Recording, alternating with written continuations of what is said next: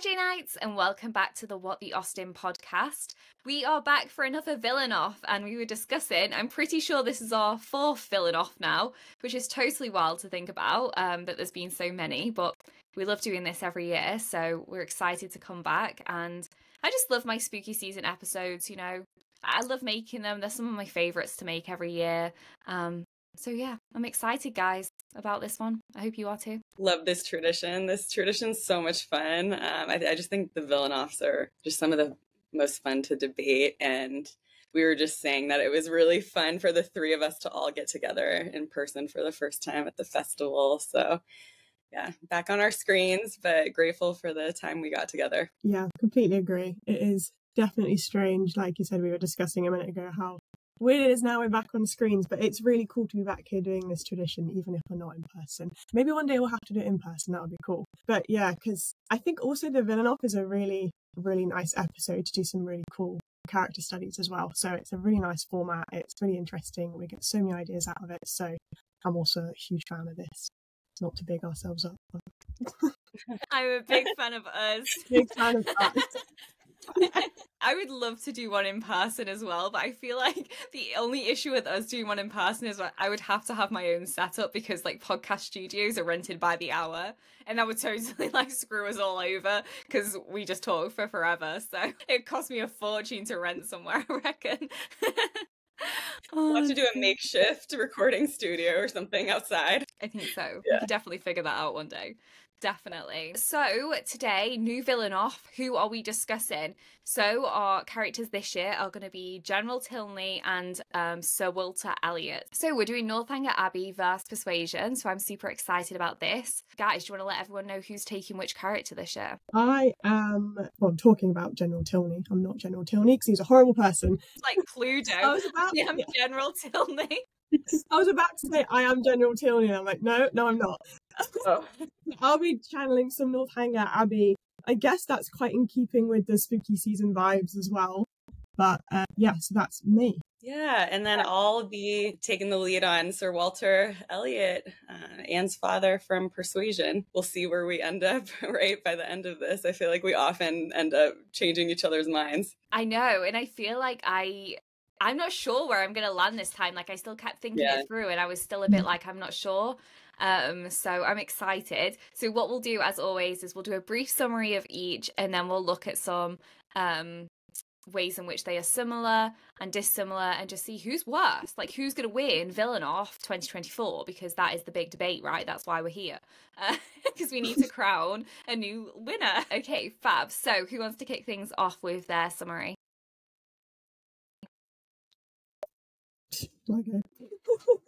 do it, I'll do it. You let's, go. Um, let's go General Tilney because yeah, I feel I feel because the book is set in Bath and I'm in Bath, I feel like we're quite you know, it was a good one, a good one to go with for this. But what I'll do is I will quickly just do a little bit of background about who he is and also just introduce the novel as well for a bit of context and as to why he's seen as a villain in Austen. So General Tilney, he is. In fact, I came across an article recently that described him as an ogreish character, which I thought was pretty extreme. So that's was like the headline for this an ogreish character. And he is essentially a parody, though, of a gothic villain, I think. So, as many people know who've read Northanger Abbey, it is a bit of a parody on what was kind of popular during that time of these gothic novels coming out.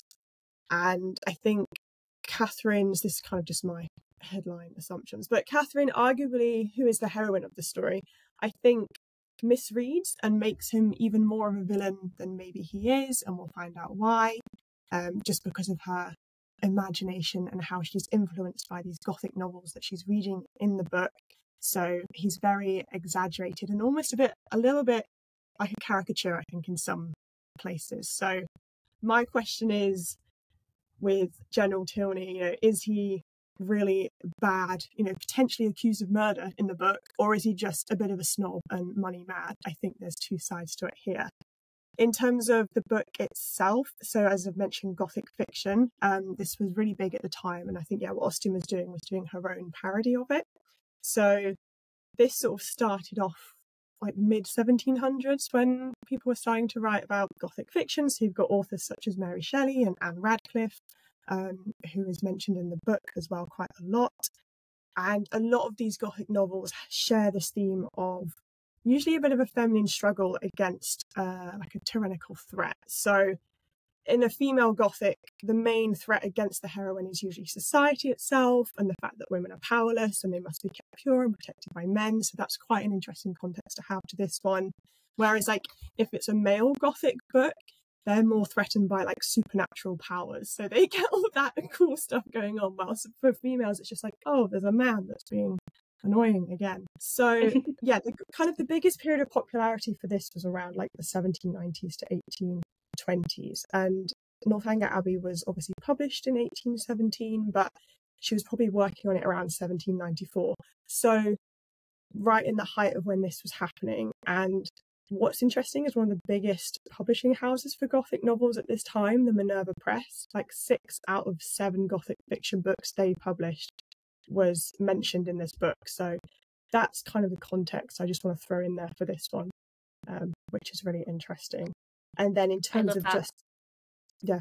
I'm sorry, I was just going to say as well, if anybody wants some insights into some of the horrid novels that are mentioned, me and Martha have done multiple episodes now on a few of them. The most recent one was on Eliza Parsons, um, The Castle of Wolfenbach. So that was literally the last episode that came out. So if anyone's interested, you can go and listen into that. Sorry, Elle, carry on. Yes, no, that was a great plug. I think that would be a really good follow up for this as well. So yeah, please do go listen to that. Nice one. Um, so just to very quickly summarise General Tilney himself as a character. So he is um, Henry's father in this book. So he's the hero of, of Northanger Abbey, um, and also his sister Eleanor and another brother Frederick, isn't it as well? Um, he is a widower.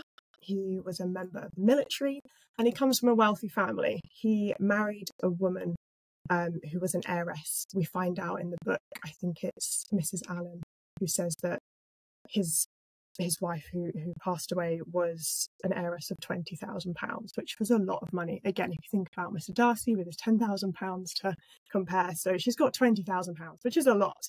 So already we've got yeah, money. giving giving Emma Woodhouse as well. I feel like that's a very similar dowry to what Emma Woodhouse would have gone with. Yeah, yeah, definitely. So yeah, that's kind of who he is and how he's situated in the book.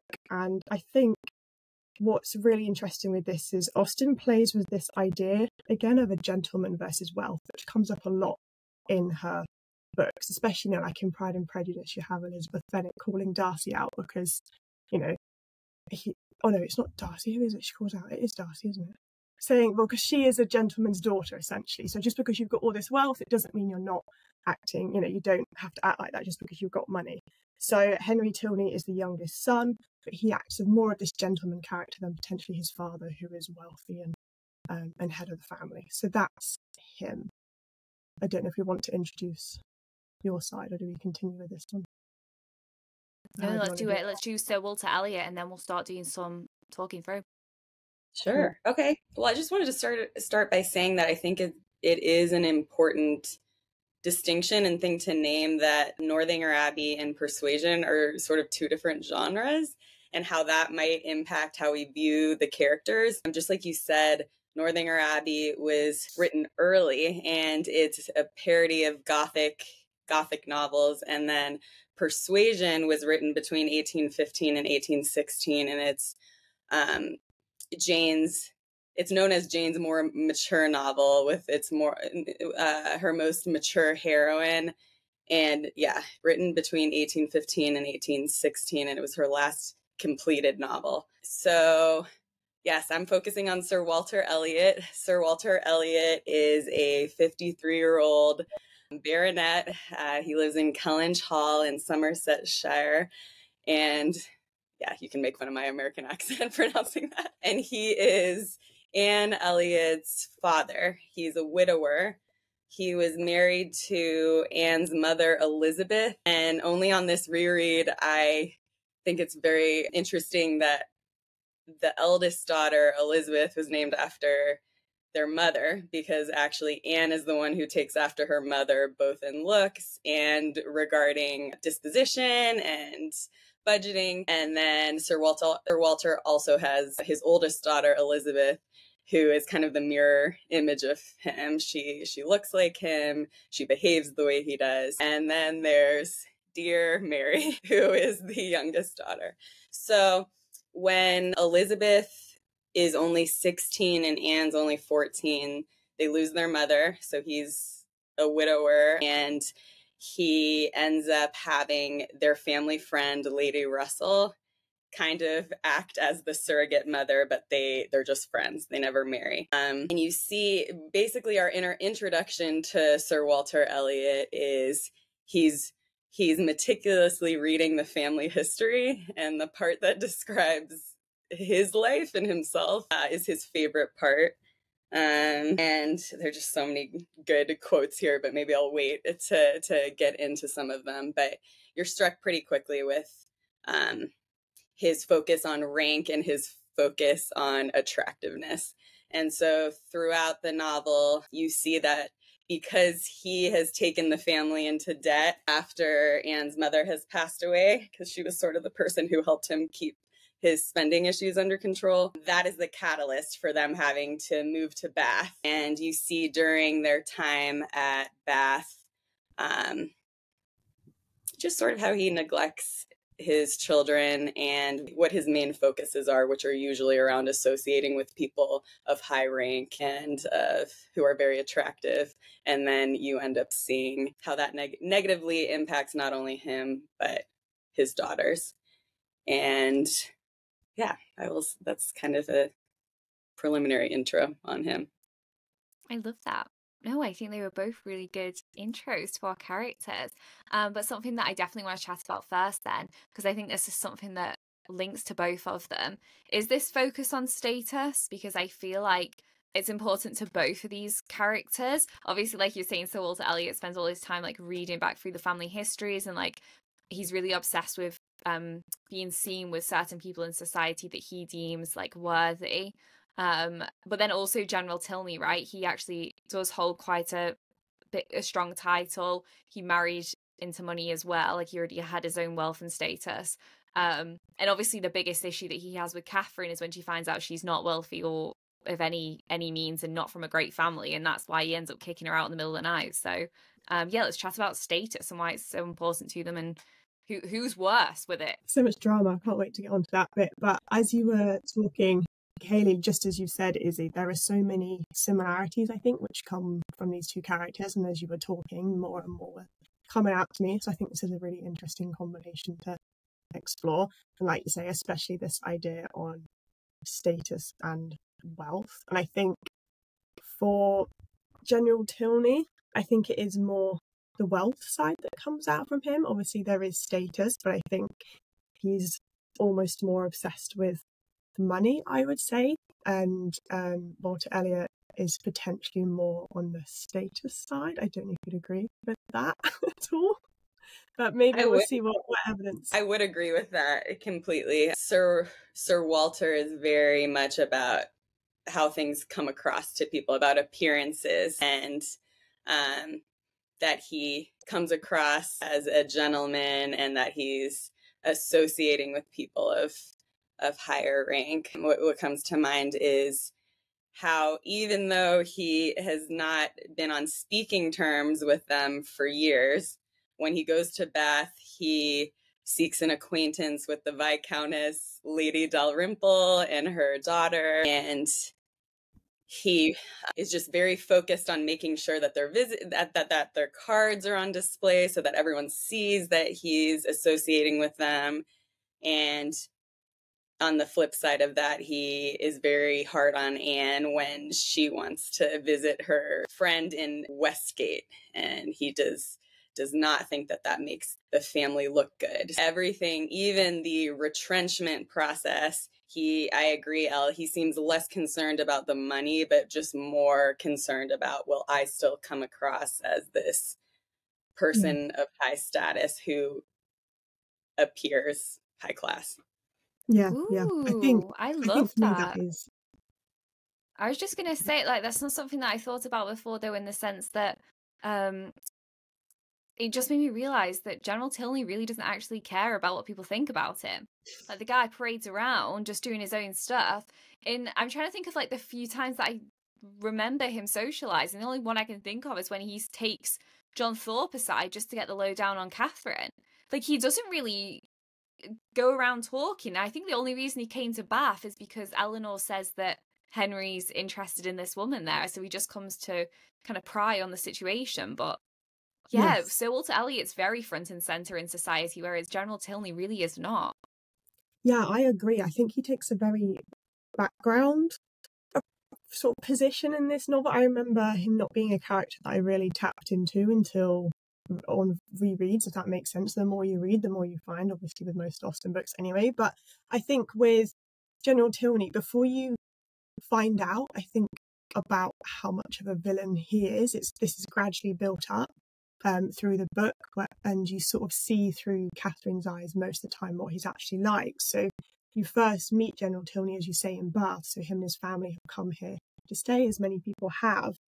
And um, as you say, one of the first main interactions we have with him is this point when you say John Thorpe pulls him aside, I think when they're all at the theatre and speaking to each other about Catherine because he's noticed Henry and her and his daughter have been all hanging out quite a lot the balls and that.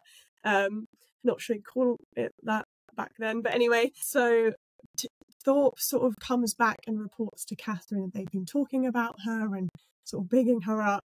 At this point, we don't know, but he's actually told General Tilney or given the impression that she's from a lot of money and has wealth. And he also relates to Catherine that General Tilney is, he describes him as a fine old fellow, a gentleman like good sort of fellow as ever lived. And he admires Catherine. And I think Firstly, I mean, that's a huge red flag because you cannot trust John Thorpe in this, okay? So he is not a character to trust. And the fact that he comes back saying that he's a gentleman like good sort of fellow, um, I don't think is is the one to, to take and just run with, to be honest. So and also the fact that there's all this these misunderstandings that are going on at the same time, you know, when Catherine's trying to meet up with the Tilneys, but then she keeps being dragged off by John Thorpe and, and Isabella.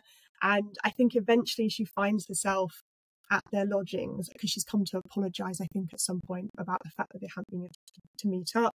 Um, and she also gets to dine with them at some point as well. And I think she starts to notice these little things and about the way um, Henry and Eleanor act in his presence. So when she goes to dinner, she describes his children have like a want of spirits, and later Henry and Miss Tilney sort of try and make up for the fact that they weren't very lively during this dinner. So at the ball, they're sort of trying to make up for this and being more lively with her, and yeah, just almost apologise for the fact that it was it was like that. So it's interesting. You start to get these little yeah, glimpses into maybe what kind of character he is. You keep getting, you know, one side you've got someone calling him great, and on the other, Catherine's a bit like, oh, I'm quite in awe of this man because he's quite, I think he's got a presence about him. Mm-hmm. Yeah, he definitely has. He definitely has an intimidating presence. Actually, when you were talking about this, about how um, they were sort of apologizing for his behavior or making up for his behavior. Um, it just sort of reminds me, I think General Tilney and Sir Walter Elliot have like this actual, actually like fr- fragility, fragile egos about that. or it just seems like people hover around both of them and caretake to their mm. feelings or explain their behavior away to other people. Like it seems like there are people for both characters walking on eggshells around them. Like for Sir Walter, there were a couple parts I wrote down around how both Mr. Shepherd, the lawyer, and Lady Russell are both really careful about how they speak to him about renting Kellynch out and and they have to just really soften the blow with telling him that he can't have what he want he can't move to London he has to move to Bath. Um it's just interesting when you were describing how the the, chil- the children were acting. I think there's a parallel there too. Oh my gosh, I just realized another parallel as well is they both have this mirrored personality in their eldest child as well. Like obviously mm. Elizabeth is really similar to Sir Walter and for I know we don't get to know Frederick that well, but given his whole situation with Isabella and the fact that he seems pretty unfeeling in that, um, I would say that they have a lot in common as well. And Frederick seems to just move around the room, just kind of he just has a presence and like everyone just accepts that he's like this person to be like respected and admired or what have you. Um, and it seems like General Tilney's the same. They just have this but yeah, isn't that weird that they both have this like eldest child who's kind of like a mirror of them? Yeah. It's really interesting because it flips it on its head this idea that, you know, obviously back then the eldest son and the eldest child, they were the sort of the important one and the rest were just the ones that came after, especially if you've had a son. And the fact that Austen has flipped this round and she's made the younger siblings the ones who are, you know, like I said, the, you know, Henry is more the gentleman out of all of them. And his sister is is much lovelier than their oldest um, eldest one. And obviously, like with Persuasion, you've got Anne, who is much more sensible than her older sister. So there's this idea again that she's she's flipped around. Um, and obviously, Austen herself was kind of a middle child as well. So I don't know whether that has anything to do with it too. Um, there was another point I was going to say, and I can't remember what it was. This is it. Um, the other thing I was going to say was also this idea of kind of role reversal here is I noticed in persuasion again there's she does that quite a lot in terms of the women and the men. So you kind of have mrs croft who is she directs everything that goes that happens like on land. Her husband is obviously when he goes out to sea he's in charge on the ship but mrs croft kind of takes charge when they take the house. You've got obviously Lady Russell, who takes charge. You've got his wife, who before took charge as well. She did really well at kind of covering his faults. And essentially, I think she just likes to play with this role reversal to highlight the villain. So you've got, yeah, especially with the siblings, and then the men versus the woman to highlight the fact that Sir Walter Elliot was a bit of a a baddie. You know, like I said, his wife and Lady Russell took charge. Um, you've got Mrs. Croft who takes charge a lot. You've got Anne Elliot who's good at taking charge, apparently, according to, to Captain Wentworth. You've got Captain Benwick who likes romantic poetry. So I think it's just this idea of flipping things on its head, which she's just so good at. But um, um yeah. just on that point, Al, um, it just made me think though, is there more of a softness to Sir Walter Elliot because a lot of his issues come from the fact that he's a bit incompetent compared to General Tilney, who seems a lot more in control of the situation. Um, like General Tilney really lives up to being head of household in a way that Sir Walter Elliot I feel really doesn't. Um he really Sir Walter Elliot just kind of lives for himself, doesn't he? He's not he doesn't really take head of household very seriously at all. Whereas I feel that General Tilney actually takes it more seriously, even if he is still selfish. That's such a good point because one thing that comes up when I was sort of researching the character and also just reading around him is that he also comes out as a very controlling character. So the way he controls, I think, his children comes across. So, I mean, you've got the bit, you know, before they go to Northanger Abbey, he wants to invite Catherine to come stay with them because she thinks at this point, he thinks at this point she's really rich. Um, and he sort of bursts into the room before Eleanor Tilney has a chance to invite her along. Um, Eleanor sort of says, you know, I was just beginning to make the request, sir, before you came in. And he replies and goes, well, proceed by all means. I know how much your heart is in it. My daughter, Miss Morland, he continued without leaving her time to speak, has been um, basically just proceeds to give this massive speech about why he wants her to come, interrupts Eleanor, doesn't even give her a chance to say. And then when they're leaving to go to Northanger Abbey, um, Catherine really shocked by the severity of his father's reproof. So this is when he was talking to, I think, Frederick, um, because of how late they were arriving to the carriage. I think Catherine was also late, so I think he had a bit of a go at her as well. Uh, sort of describes the fact that he was a charming man, but also seemed always to a check upon his children's spirits, and you know, scarcely anything was said but by himself. And he's kind of really angry and impatient at sort of the servants when they stop off at the, the inns on the way down to Northanger. So you kind of get a really interesting insight into what he's like around his children, and then I think Catherine gets to join Henry for the remainder of the ride. And the contrast of how different it was when they weren't sat with General Tilney is just, yeah, different. And you sort of understand how controlling and just how on edge everyone is when they're around him. He also seems to have like a bit of misogyny, like this kind of uh, dislike, or eh, maybe not even dislike, but just complete like absence of thought when it comes to women. Like he's just, yes. he's woman blind and deaf. Interesting you should say that as well, because I also, on my travels, whilst doing a bit of research, someone also accused him of being a bit of a sexual predator, like being really not great around women. Because there's this bit, I think, when um, when she first comes into contact with him in chapter 10, um, Catherine gets really sort of confused and starts blushing by all these compliments he's making to her. And his eyes, like, still directed towards her, it says. It describes how he's staring at her the whole time whilst he's talking to someone about her. And then when she came, I think, to the house from time to apologize or for the dinner or something, he actually attended her to the front door on his own um, and sort of praised her on the elasticity of her walk, which was a really strange thing because then Catherine has sort of said in the commentary afterwards, like, oh, way home, all she thought about was the elasticity of her walk, which she'd never noticed before. And it was such an odd thing to say to a young girl. Um, so people were saying how those were like really uncomfortable things that he was saying, especially to try and sort of woo her in a way because he thought that he was that she's a rich girl he's sort of trying to be overly friendly and overly familiar and it was just a really strange thing to do that he's trying to do it on behalf of henry because he's like oh if she's rich then we need to sort of i'm going to do it for henry in a way because i don't think he's maybe good enough or competent enough to get this catch and i need to make sure that he marries her because he's the youngest son so maybe there's this thing of like he's having to constantly woo her all the time like when she comes to the house he's always going on about the fact that the house, you know, Northanger Abbey is small and the furnishings are not good and it's all simple and this, that, and the other. So it's almost like he's trying to get in her good books, but he doesn't really realize who he's dealing with, and it's not the person to do that with because she's just going over her head completely because she's not rich and she's also kind of in awe the fact that she's there. So they're both kind of yeah in a it's it's a weird. Well, I think it's a really interesting concept to think about, basically.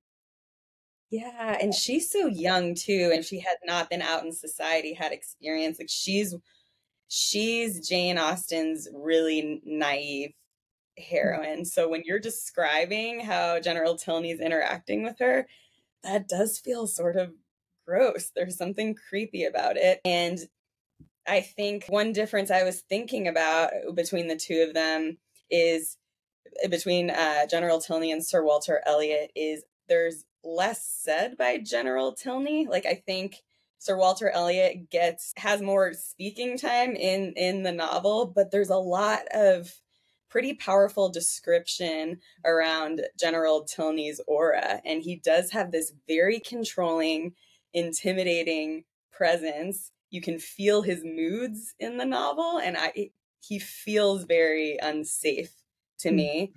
Uh, whereas it's interesting reading this time around. But in the past, when I've read about Sir Walter, he's he's been so absurd to me that I kind of group him into more like a miss I used to group him into more of a Mr. Collins like oof that was a really awful thing you said but you're just so ridiculous I can't take it seriously you're so incompetent I can't take it seriously um, I even group like John Thorpe in that category a little bit, like because there's this lack of competency, because there's this absurdity, it can maybe negate the the being a villain or the damage done. But yeah. this time around, reading it, I actually think that Sir Walter the way he speaks about people is kind of scary. Like I think he really demonstrates a lack of empathy and he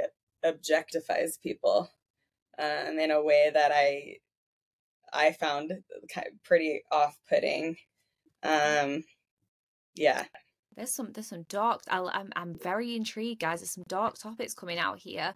Um, something that I wanted to touch on. Al, um, at that point that you said about this him potentially being a bit of a um sexual predator is i mean the apple doesn't fall far from the tree right like we can assume that that's obviously went down with um frederick and mm. isabella that she was kind of lured into a, a situation that wasn't ideal for her in the end um and so that wouldn't be so surprising um what i was going to say as well Caily before you said that which i think is so interesting that you were saying that actually a lot of his behavior is actually quite scary and shows a lack of empathy shows a lack of empathy and also I think a lot of the time actually he shows a lot of prejudice.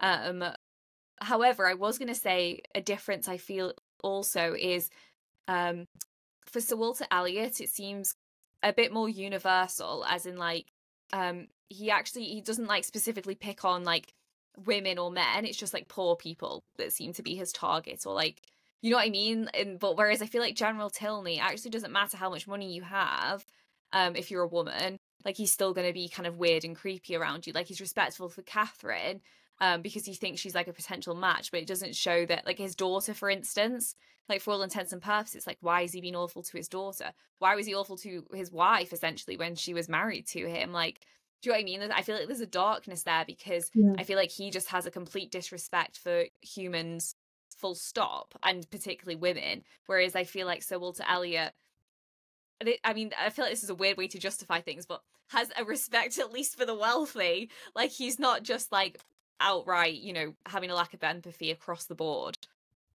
Yeah, I would agree. I'd say General Tilney was a lot more selfish in it for himself, definitely. Where I guess, yeah, in a weird, twisted way, I guess um, Sir Walter Elliot is more doing it for the good of the family name, if that a bit more, I don't know, and their standing, and maybe General Tilney as well with the money, but I think he is he is very very selfish. And you look at how everyone acts when they're at the, you know, Northanger Abbey as well. He, like you say, creating this atmosphere. I think Austen is really good at creating these emotionally charged atmosphere, even without sometimes dialogue, like you say, because he doesn't have a lot of dialogue, but the way she describes the interactions, even just facial expressions, or the fact, you know, he's pacing the drawing room all the time with his watch in hand. Um, and you know, yanking on the bell with, well, pulling on the bell with violence, it says, and ordering dinner to be on the table directly. I mean, there isn't even much speech in that, but he's the way he acts just day to day is just, yeah, charging this atmosphere. Which also, I guess, remembering the context of the novel itself, I think you're seeing it through Catherine's eyes. She's at Northanger Abbey, though. She thinks it's this, you know, horrible gothic house where things are lurking in closets and chests and she gets a bit carried away with the fact that General Tilney does come across as a a bit of a tyrant and in volume two, by the time you get to chapter eight, she's already having thoughts of the fact that he murdered his wife, essentially. Um, this description about the fact that she had such a short illness, everyone was away from home, you've got this horrible tyrant, just like in the Gothic novels, you know, it's usually the male who's the baddie. She's looking around in, you know, trunks and boxes. The apartments to his dead wife is shut off. No one's allowed down there. What is he hiding? You know, so all of this is spinning around in her imagination. And she starts to connect him with evil characters from books she's read as well.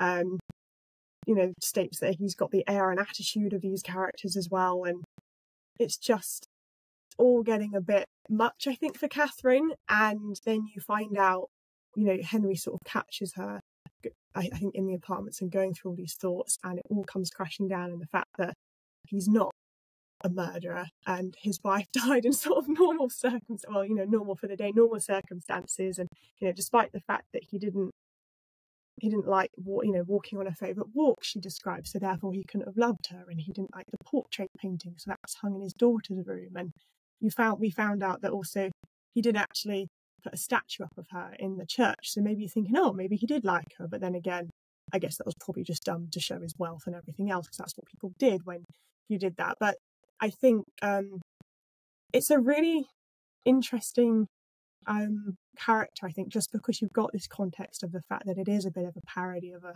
a gothic novel, but then at the same time, you've still got these dark things coming out of it, and you can't deny that there's, you know, this man who is he's not good, and he does leave his children really down and upset, and there's you know ideas of controlling behavior coming through, and um, it's not yeah, it's a strange one because you've got the two almost running parallel together, and I think um, it's yeah an interesting one to to break down.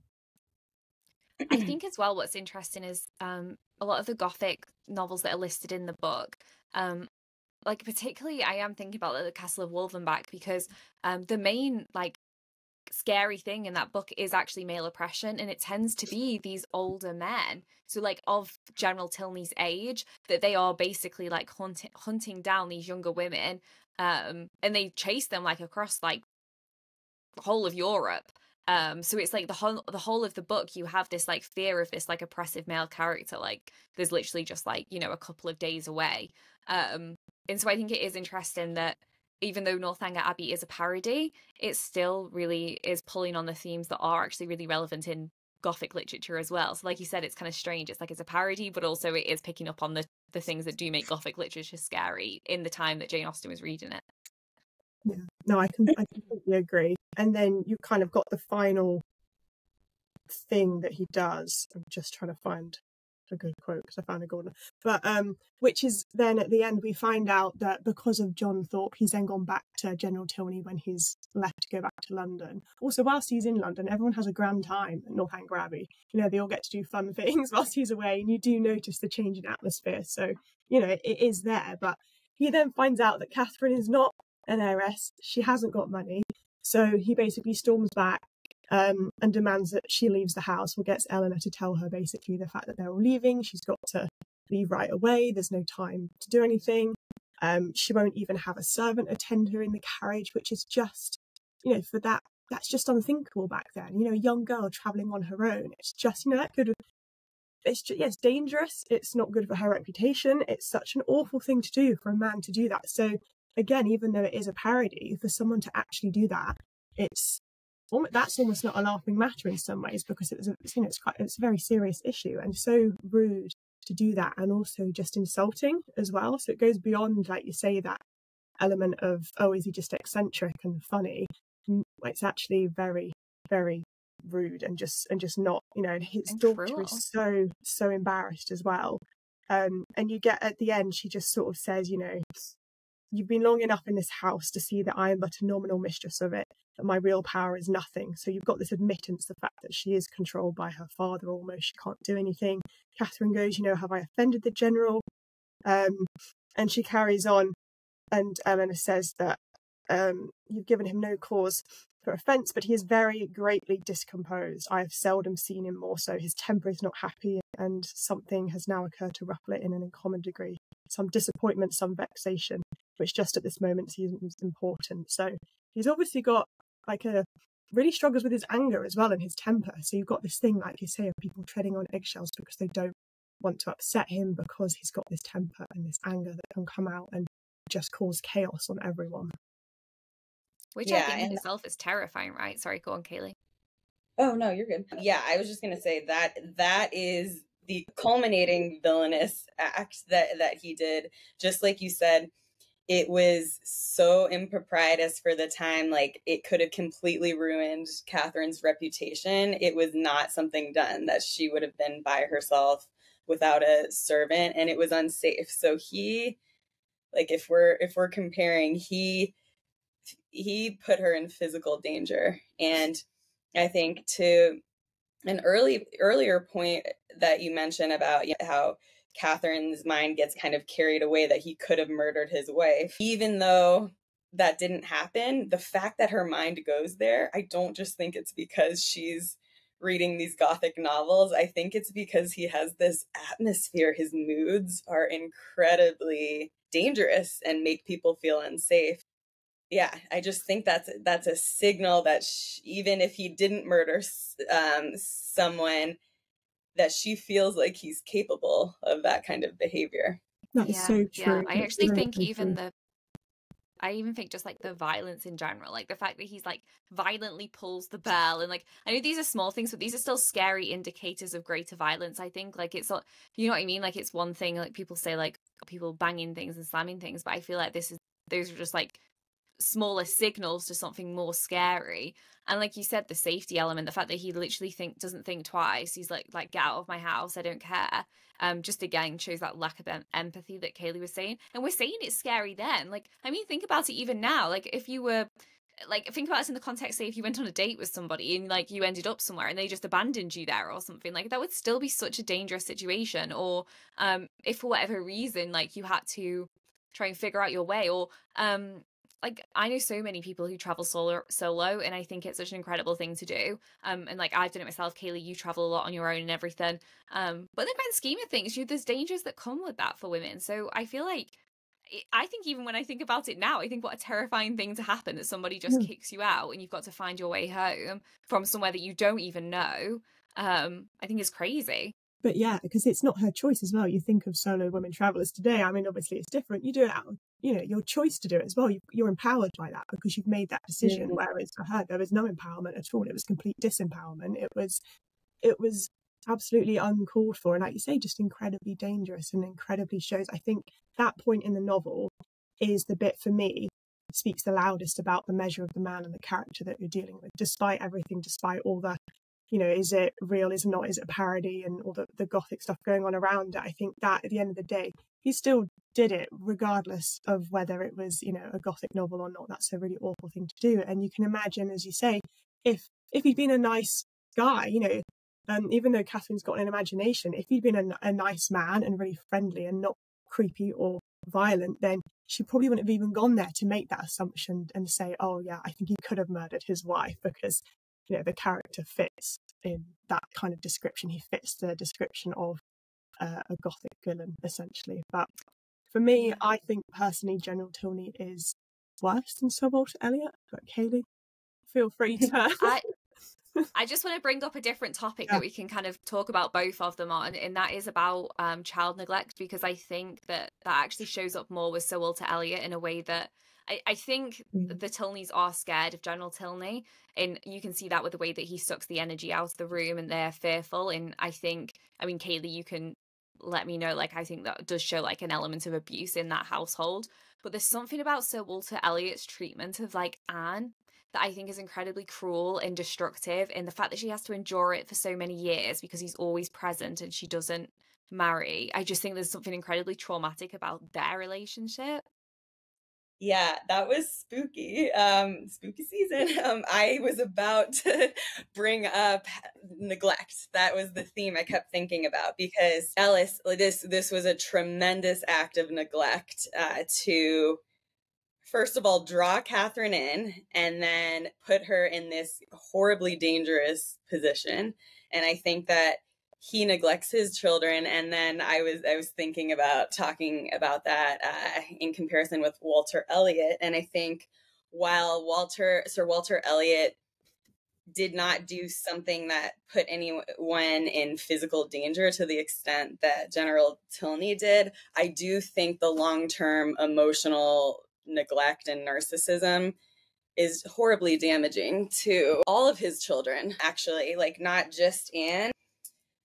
So, uh, one thing that struck me about that is actually when Sir Walter, when we hear that Sir Walter Elliot is upset that Mr. Elliot snubbed Elizabeth and snubbed the family, you know, that is a moment where initially I feel sort of bad for Elizabeth. I was like, oh, like that that must have really stung that she she wanted this and then that must have embarrassed her, made her sad, like you know, the typical empathy that would come out. And Sir Walter Elliot, the only thing that he talks about regarding that is he says, you know, we were seen together. It was all about the fact that Mr. Elliot was seen with them and how how that could be damaging to the family name. It, it was nothing about attuning to his daughter and the fact that maybe that was hurtful to her.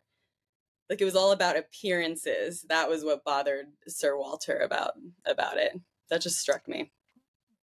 Yeah, I think that's such a good thing to point out because I think we were going off the well, I was going under the impression that obviously is the nicest to Elizabeth Elizabeth.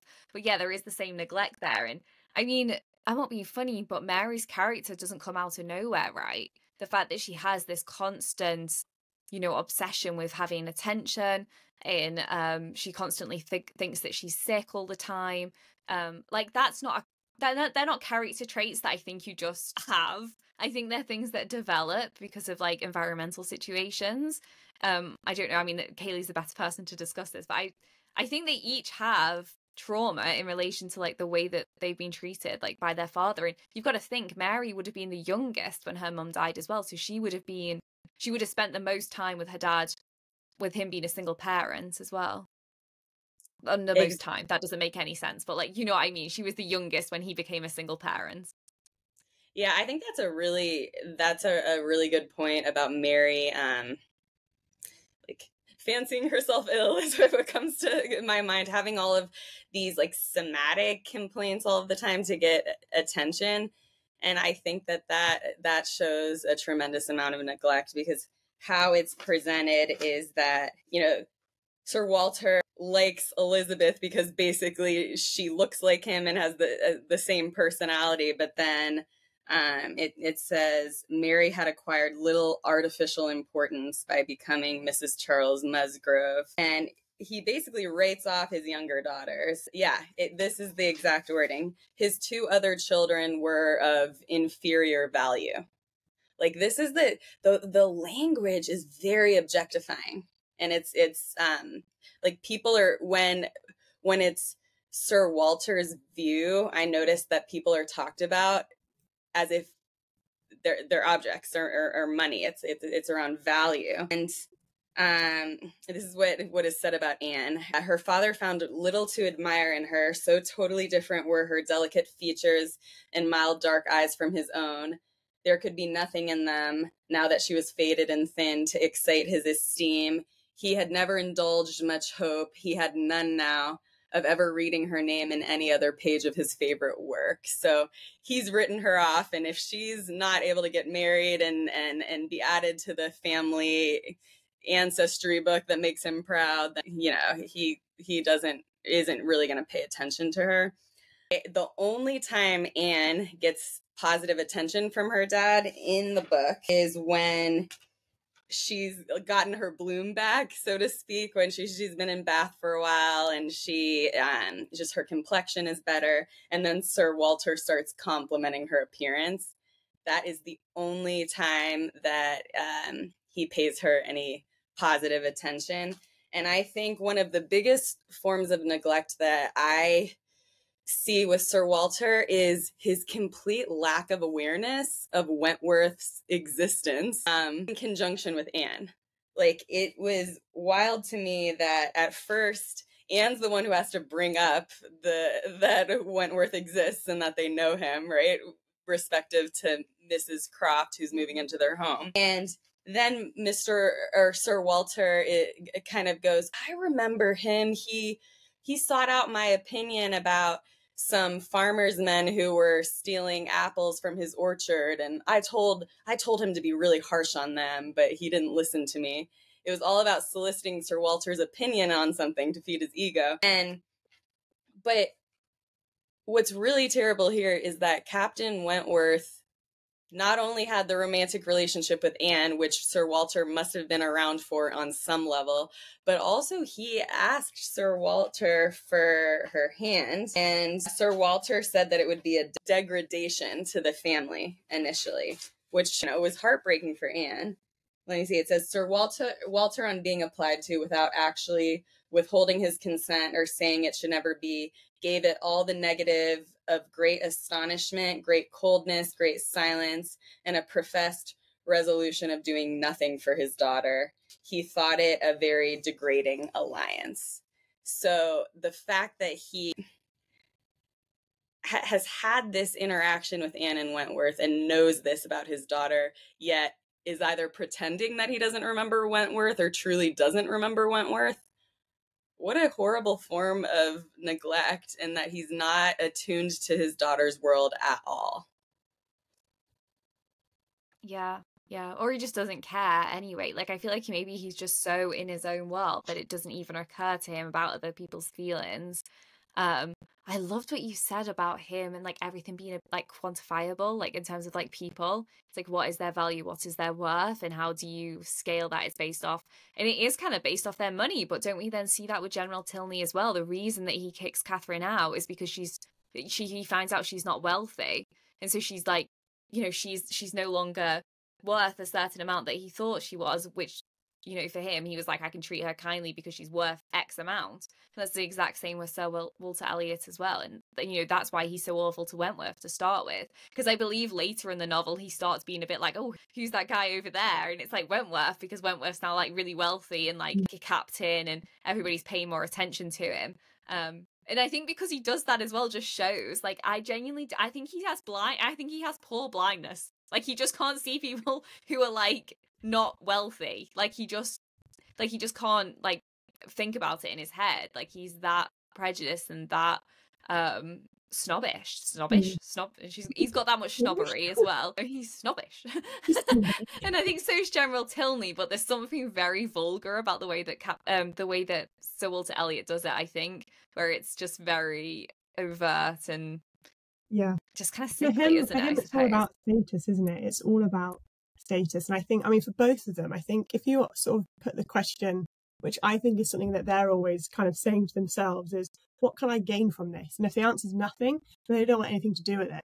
Essentially, how can this help me out? How can this make me either richer or a better standing? Essentially, and I think, like you say, for Walter Elliot, I think for him, there's much more comes through in persuasion about this social ranking, this idea that he needs to have his place in society formed and he needs to be with the people who he can associate with to make himself look better, be in the right circles. And because obviously we hear that his money is dwindling, so what do you do when your money is dwindling? You try and cement yourself in society because no matter what, he's still got this, you know, inherited title that he can just continue and always show that. Because at this point, I mean, you've got a lot of up and coming people who are starting to get money. Um, you know, like you say, Captain Wentworth, you've got people in the Navy who are able to you know, they're suddenly very wealthy because they can earn their money and they can earn their titles and earn their rankings. And for him, he doesn't like that. You know, he doesn't like the fact that the Navy are going to be living in his house. He's like, I can't, I can't deal with that. You know, they have to, that's why, you know, you said earlier, they have to sort of put it to him very nicely and be like, you know, they're nice people, it's okay. Um, and he can't get on with the fact that people who earn their money and now have, you know, a standing in society for him, it's all he's got to hang on to now is the fact that he's got this inherited title, which he's got a, you know, he's baronet, isn't he? So, I mean, that is the lowest ranking out of all of them, you know, looking from Duke downwards. It's quite funny that his actually is the lowest you can you can go. Um, before you're just like a, a, normal guy essentially. So it's it's funny in that sense that he is clinging on to that especially because his son has died as well. So he doesn't have a son to pass on. This inherited title it goes to her cousin who like you say he just he, you know they don't get on and um, they seem to be insulting each other all the time. So he's he's like clinging on to loose threads i feel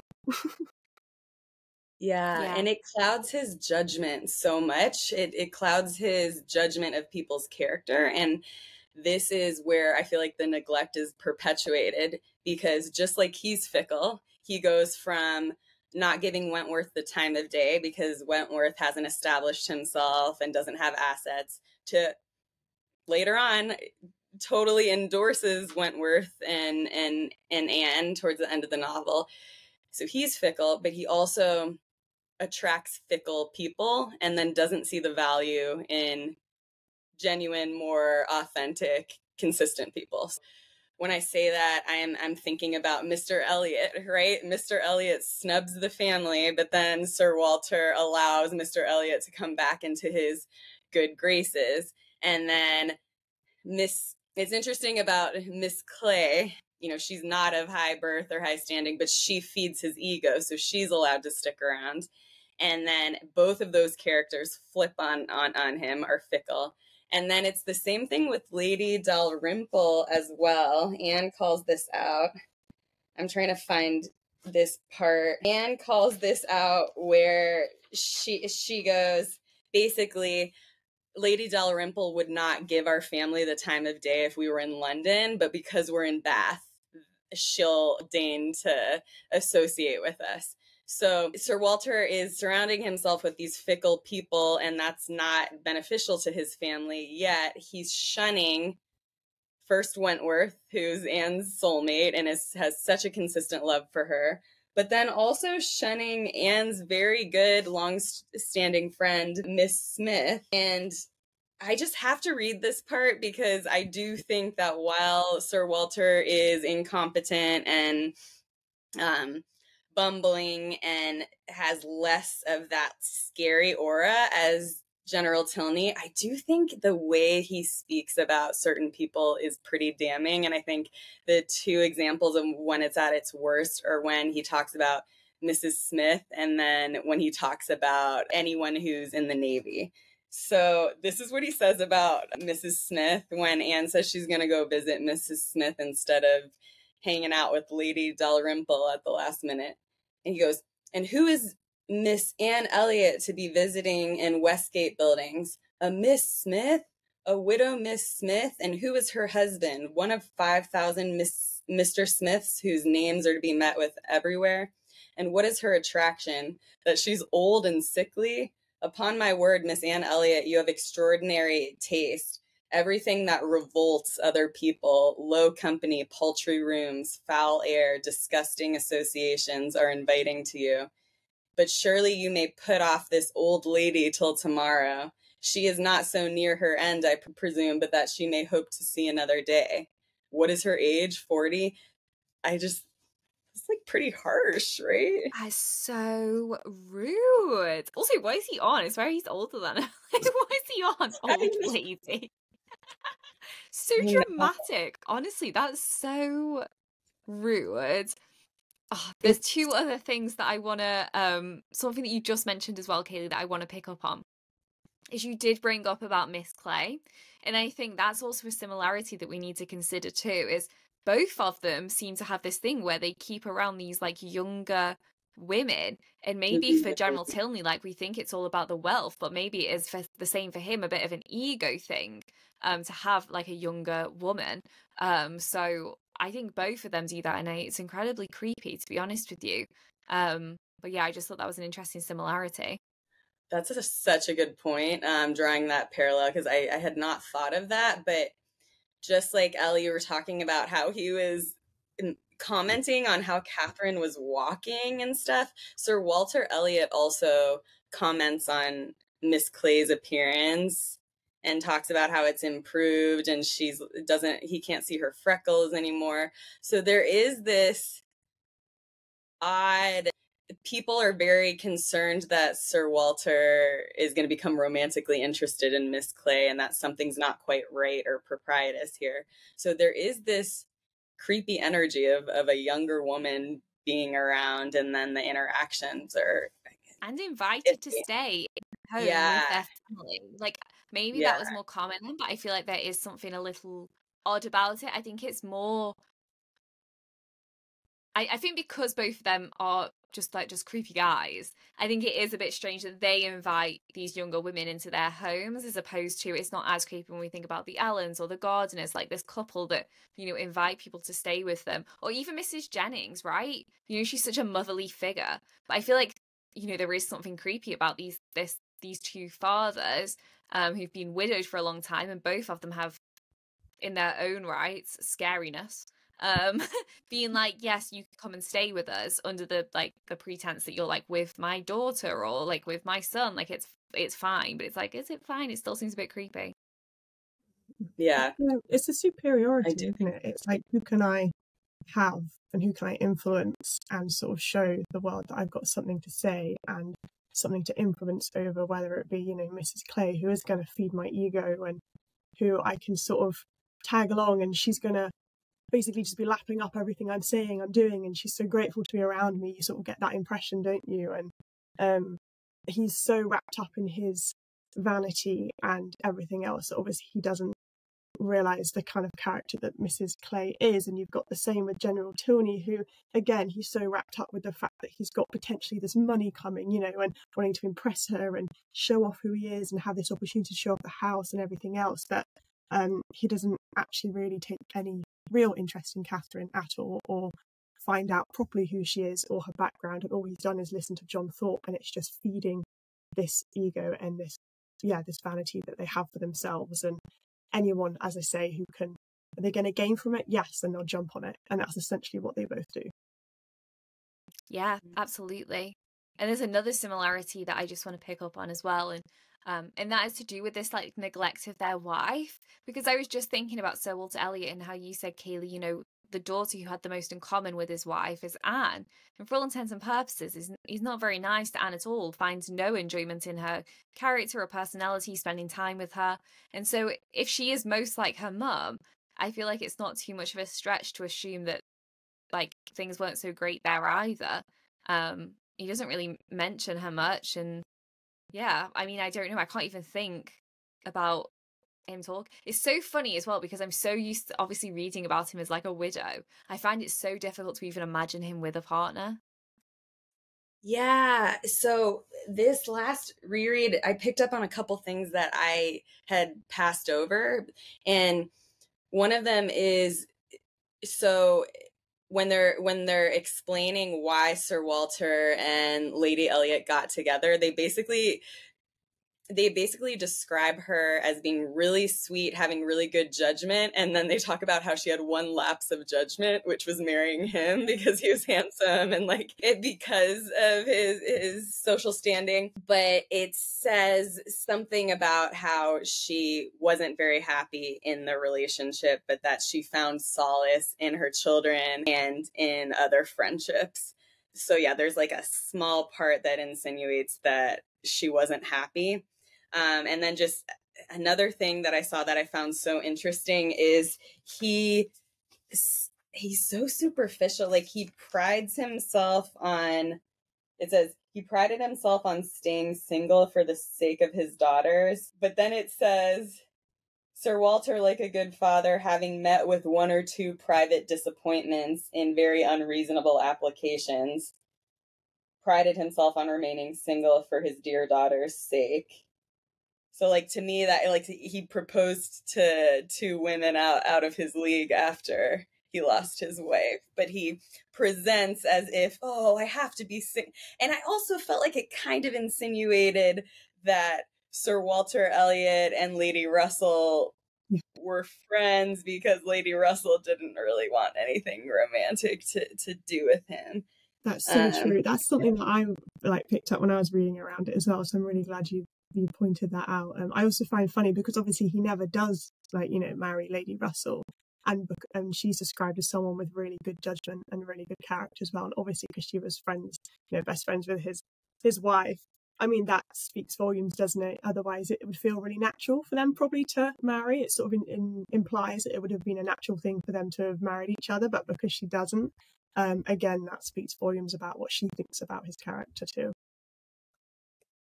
Totally. Yeah, they're just the Sir Walter is so false, like in the way he presents things like, okay, I'm gonna stay I'm gonna stay single to, you know, because I'm this great father. And, and then I love this line where it's like, for one daughter, his eldest, he would really have given up anything, which he had not been very much tempted to do like I, I don't know i just think that's funny um like he like he says he'll give up anything but has he ever really given anything up? And then I'll, i really like that point too about lady russell. There's clearly clearly there's something she knows about his character that prevents them from getting together because that that really does seem like it would have been the natural thing otherwise.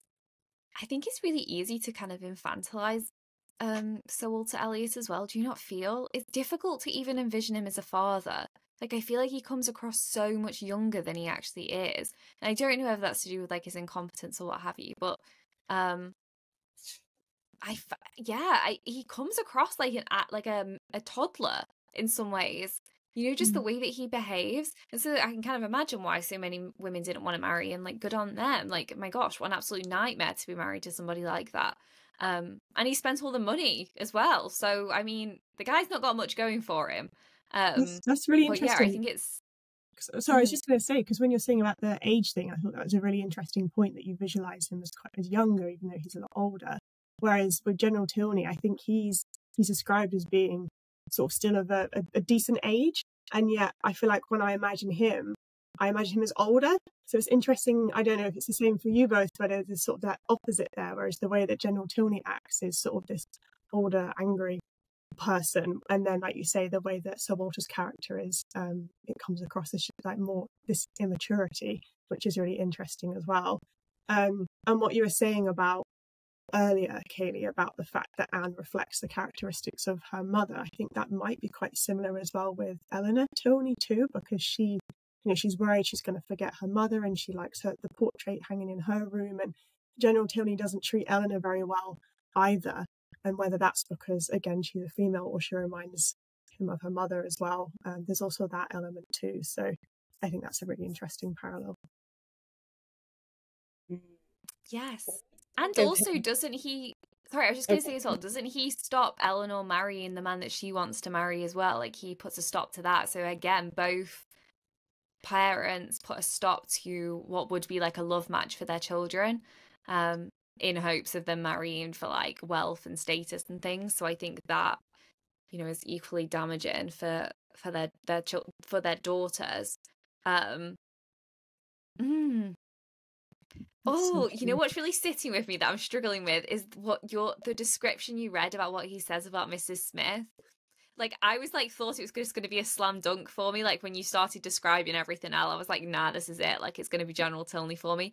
But when you said that, I was like, that is cruel. It's mm. it's really nasty. Stuff. I also think that Sir Walter is just very he's very cowardly though. And I think he hides behind those words. He's very good at saying a lot of things and saying those horrible words and being able to sort of you know, like we are saying, I think we've got Sir Walter where we've got very much his words which are expressing his character and who he is a lot more maybe in persuasion. Then you've got General Tilney, whereas actually maybe it's more his actions that are, are speaking more because of the way he is. So again, that's it's quite difficult or maybe challenging to compare the two because maybe we have more yeah more words which we can draw upon for the Sir Walter. I think he's more involved in persuasion. That's just I don't know maybe just my judgment when I'm reading it.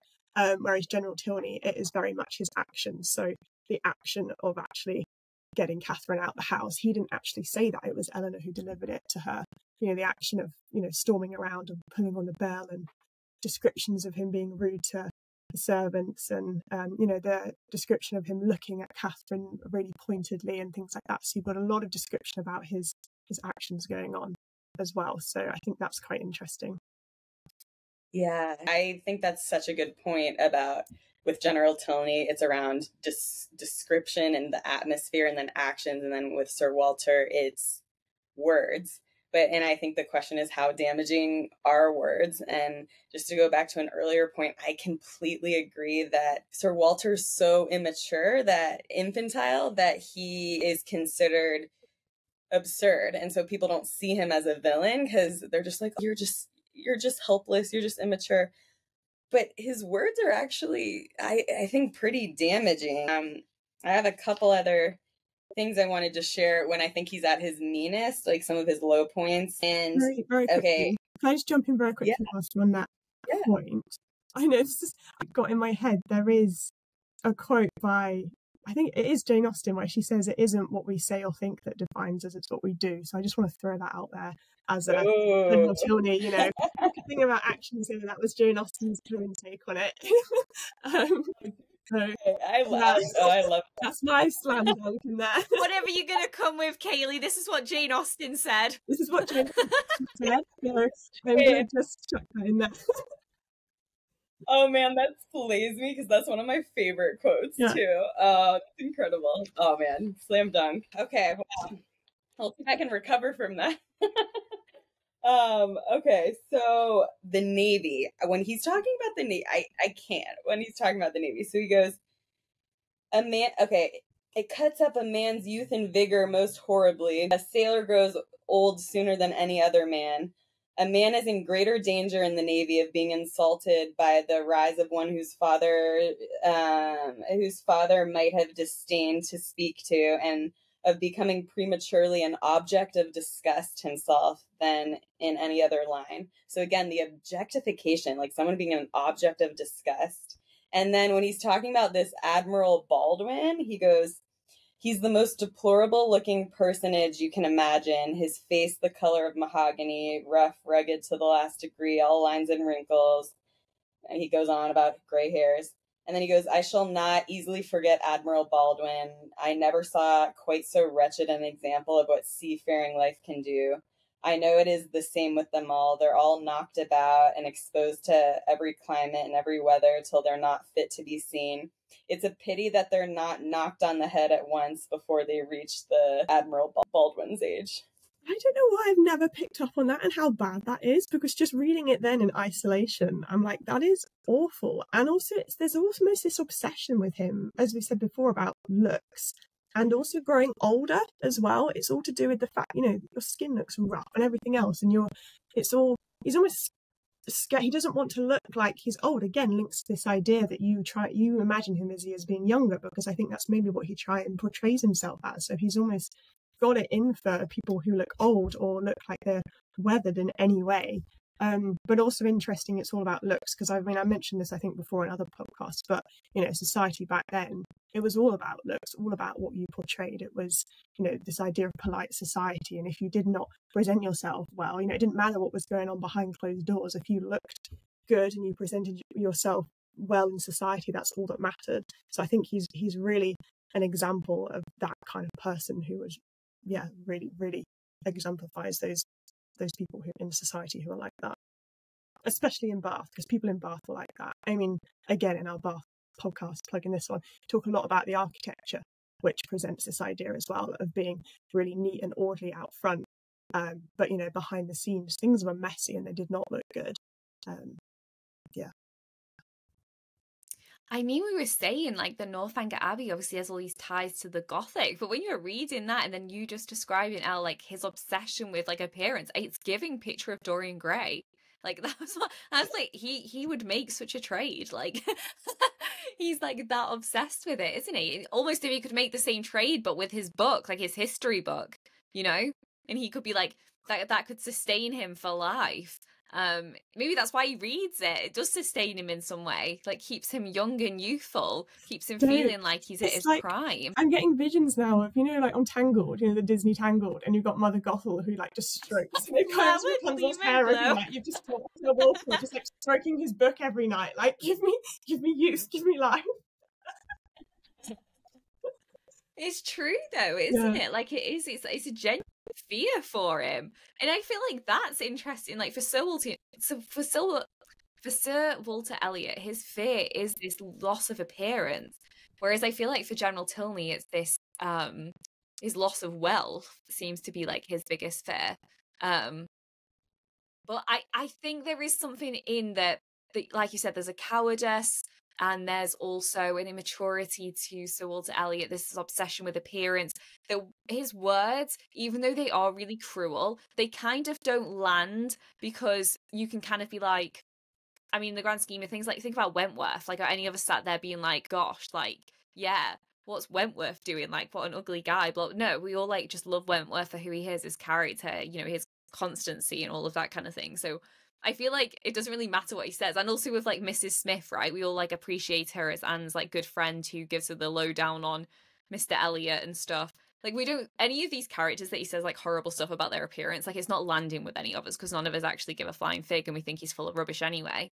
Um so I feel like that it's about for me facade, makes him less it? of a villain in the sense that it doesn't yeah, yeah, that it doesn't land. Mm. Yeah. And also... Whereas with General Tilney it lands. Like I'm scared of him. Yeah, they're always they're like short, sharp, angry outbursts. Where with you know Sir Walter Elliot, it's these elaborate speeches where he's just throwing words out at people and insults, and it is. I mean, they're they're horrible and vicious, but they are just almost overpacked in a way to the point, like you say, they almost lose meaning because of just how elaborate and how much he goes on about it, and the fact that it is all about. He goes, you know, he insults people's appearances, which again, appearance isn't everything at this point in society. So yeah, but it's performative, is right. Right, he always does it behind closed doors. He does it when no, he's not saying it's these mm. people's faces. He's not like, my goodness, like what Admiral Baldwin or whatever. Never seen anyone look as rough as you. He he says yeah. it like when he's not around and when he's just surrounded by people that he knows anyway. So I feel like it is all talk with him, isn't it? Because I can't imagine him for one second ever being able to say this to somebody's face. And even the description when he rejects Wentworth, I swear that it's not that he turns around to Wentworth and says absolutely not, blah blah blah. He I feel like a lot of it's in like his facial expressions the fact that he just like walks away and ignores and thinks to himself like what an absolute disgrace that would be. I'm not too getting involved with that. Like it's not even a it, for me it's never come across as like this like verbal attack that he's done. Um and so I'm just like it's interesting. Um yeah. Yeah that's it that's an interesting point that a lot of the mean things that he says aren't directly to the people um and it's interesting I feel like before you're right that he goes on these long monologues and they start off so absurd and ridiculous. It's almost like, oh gosh, like I'm not even going to listen to this whole thing. But because I was focused on him on this reread, I'd, I'd, I'd get to that point. I'd be like, oh, absurd.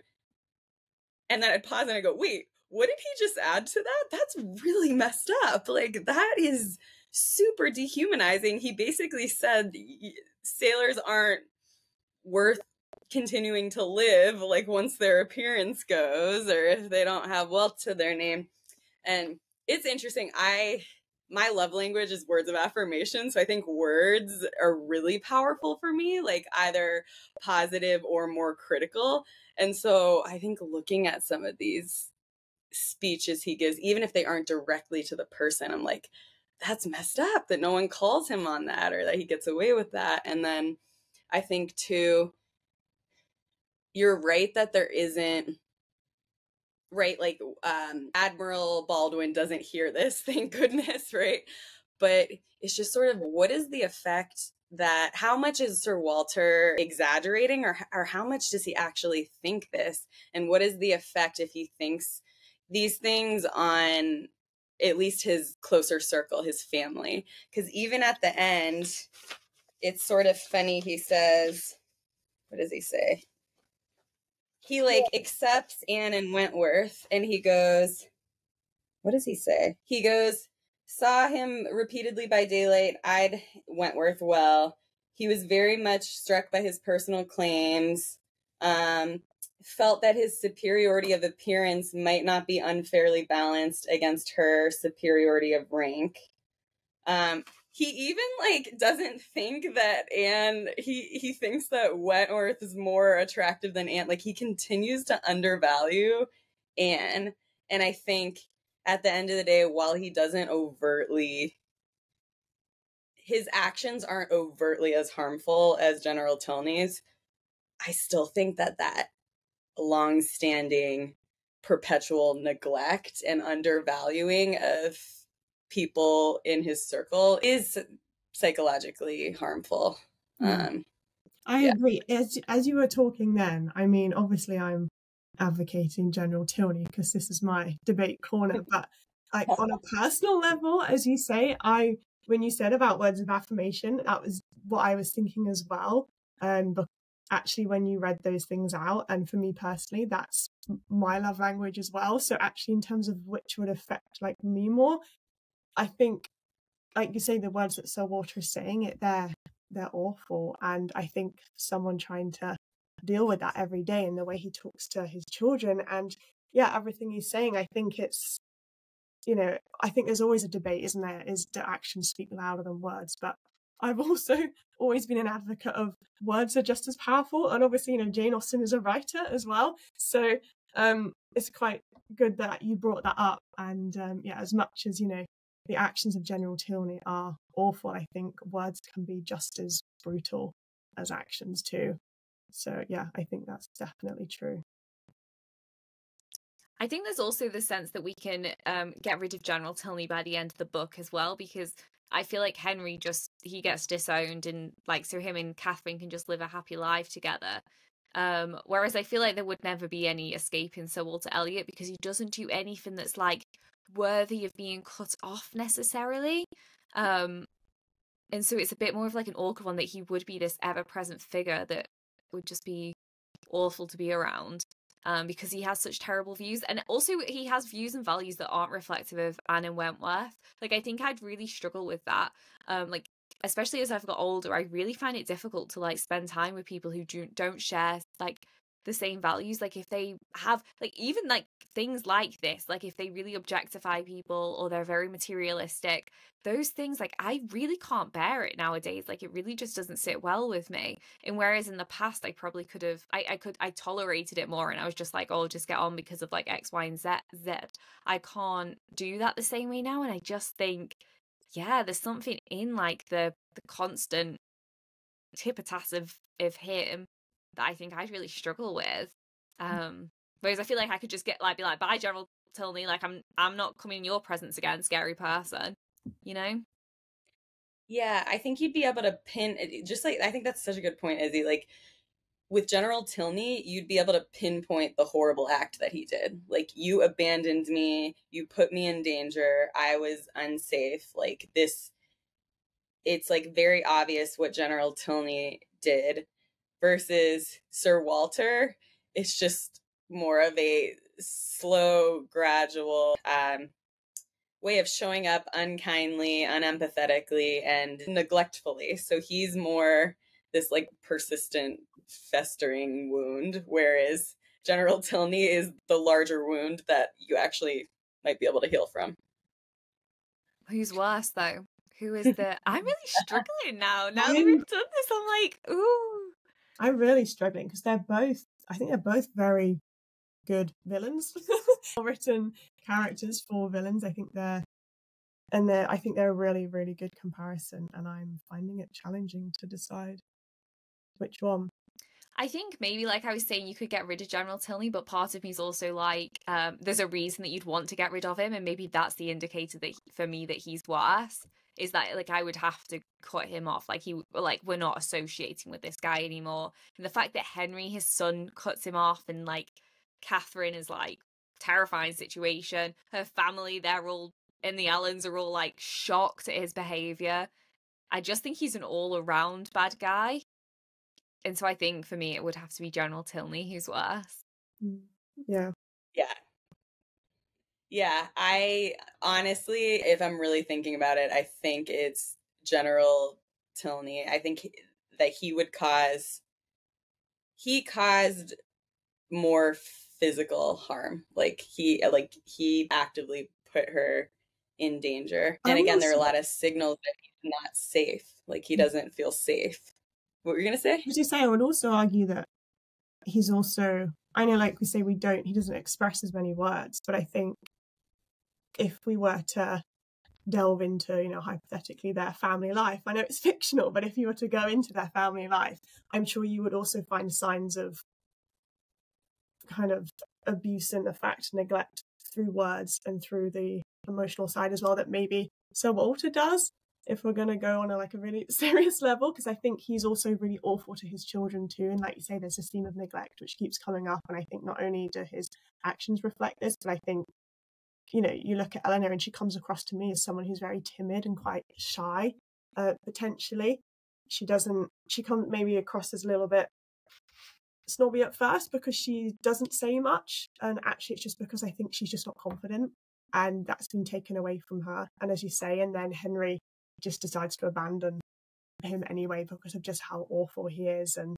you know, as we've been sitting here talking about it, you've thrown up some really, really good points about Sir Walter Elliot, which I think has cemented him in my mind as even more of a villain than I thought because I thought he was a bit of a, again, a caricature, a bit funny, you know, like a, a Mr. Collins type one. He comes up with all these ridiculous sentences, but there is a a villainous, a really like dark villainous side to him as well, if you want to go down that route.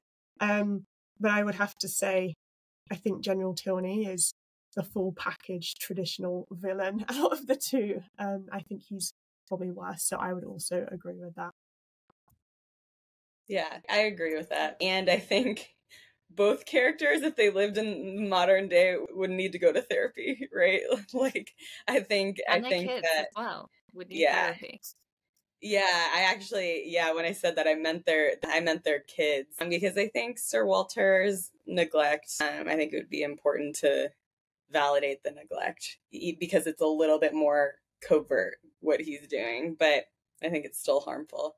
But I agree, in the traditional sense, General Tilney is more of a villain, and I think Izzy, that was a really good point that when it comes down to the person who has to be cut off because things are so harmful versus the person where okay this is not great but we can still tolerate this person being around that that's a pretty good sign of who's the greater villain yeah i think the way that he draws all the energy out of the room as well i think I think even though we don't hear like the direct like abuse to his children, I think it's the clear sign that there is like this abusive nature to him. There is the fact that they are their personalities change so much in his presence. I think shows that neither of them felt very safe around him, um, and I think for good reason because clearly the guys I mean, if he's willing to treat a stranger, like a, a woman who was under his protection, but is essentially like a stranger, and like if somebody else's family so poorly, like, I mean, you can't even imagine, can you, how you treat his children? So,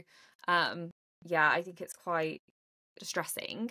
So I think we've all decided then General Tilney is the winner of Villain Off 2024. Yay! Go if team! It's yay. it's like that's it. General Tilney has been has been crowned um number one villain. So I feel like at some point we'll have to. I think we say this every year, but we'll have to do like a villain off with the villains. you know where they have like the like the villain off with the villain off, and it's like we go we go back and whoever won, they all get compared or something. I don't know, but yeah, I've really enjoyed this, and thank you to both of you because I know you both do like so much research for this episode, so I really appreciate that. Um, and yeah, it's been a fun one. I hope everyone listening has enjoyed it as well, because um, I have had a great time going through this. And um, as always, we really love hearing your suggestions for other villain offs. I know a lot of you have dropped me messages with different ideas, and some of them coming through have been so great.